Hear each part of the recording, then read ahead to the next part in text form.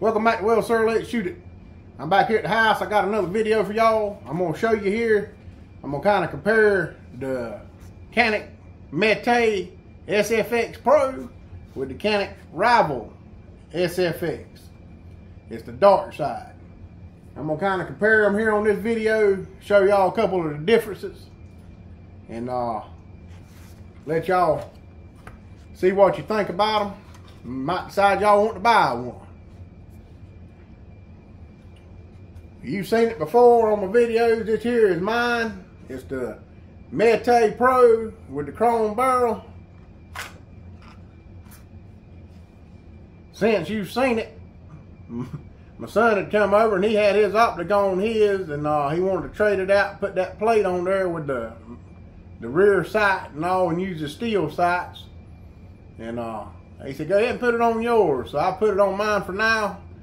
I'm gonna and make a video with it on there and all, you know, and uh, see how it acts. He hadn't never used it before. And uh, see, he might get me one. But it's right fancy. Old Mecanik. That's Canik's brand. And uh, I said something about it here in my last video. The MO one, I think it was. I got the book right here, yep. The MO1. And that's that optic right there. They're about $250. If you buy them, which online they're out of stock. If you can find one, they're about $250. His came with it, which it costed him about 200 more dollars to buy it with it. And it was about 800 I'd say, to wear mine without it. And, you know, it didn't have the metal plates and all that either. There's a few things that, it, uh, that the uh, dark side comes with that this uh, Mete don't. But uh, it's a little more expensive. It's empty. Gun's empty. Should have showed y'all that to start with, I reckon. It'd be alright. I knew it was empty check before we started. There's the dark side again. That fancy. Go ahead and show you all that. That's the difference in the holsters that you get. That there's the Mete Pro holster. is the basic paddle holster that you get with just about every Canik that you buy. And that there's the uh, fancy competition style holster that you get with the uh, Rival series. You actually run your belt through it, put it on. You can run your belt through this one, but it clips over. It's not as uh, sturdy, don't seem like to me. They're still nice. I kind of like the way that one looks a little better, though. It's a little smaller and probably be a little more comfortable, you know, to wear. Now, we got his rival back out. It's clear. Don't know if you can see in there or not, but it's clear. And I was telling you before, it's got that metal trigger. Same trigger as the Mete, Mete, whatever you want to call it there. But it's actually metal to where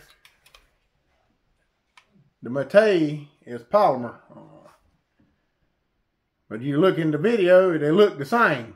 You only be able to tell it by holding it and examining it yourself. As you can see there, on the top, on the Mete, you got the loaded indicator showing that it's loaded at the barrel there to where the rival doesn't have that loaded indicator.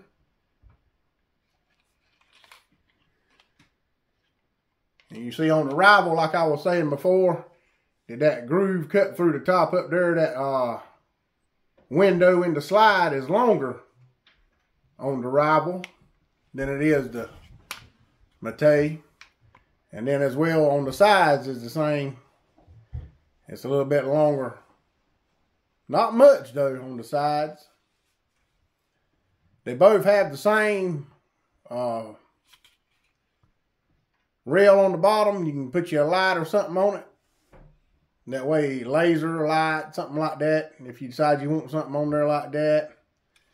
And uh, another difference is, you see, he's got that uh, the side on the front of his is the uh, fiber optic side, And the one on the front of this one here, the uh, Mete, uh, other than the rival, is the Mete's got the uh, tritium sight on it.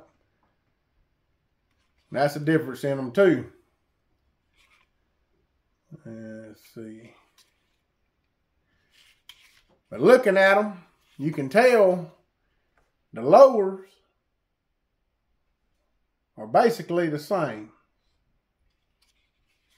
The lowers are basically the same. It's just the darn slides are what's the difference between the Rival and the Mete Pro. That's the only real difference in it. And the length of the barrel.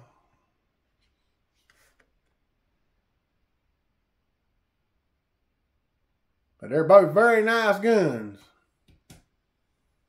I'm going to take them out here soon and shoot them. Or shoot the Mete. He's going to take his back with him. I probably won't get an opportunity to put it on the channel. If I do, it'll be a little while later. But I'll have that Mete on here soon, I hope. And you see on the bottom there, at the front of the slide, there's a little difference in the, uh, there's a hole in the Mete. There's two holes, and there's actually two cuts all the way through the slide on the rival. That's another little difference in it.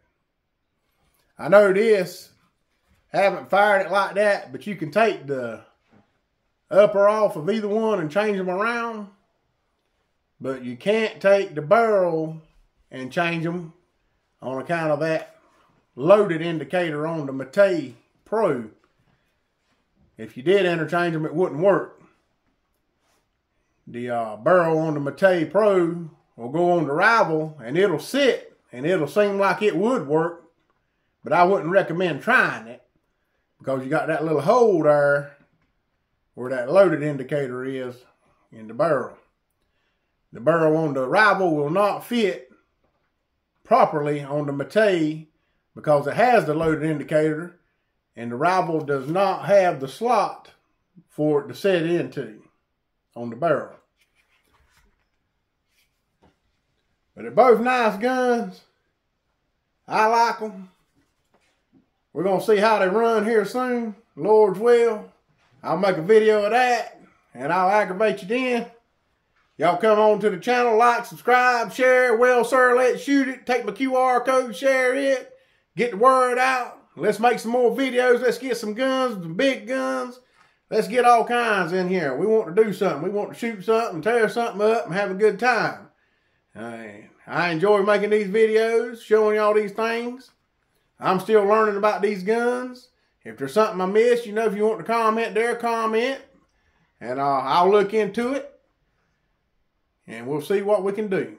We sure appreciate y'all coming to the channel. Lord will, we'll aggravate you later.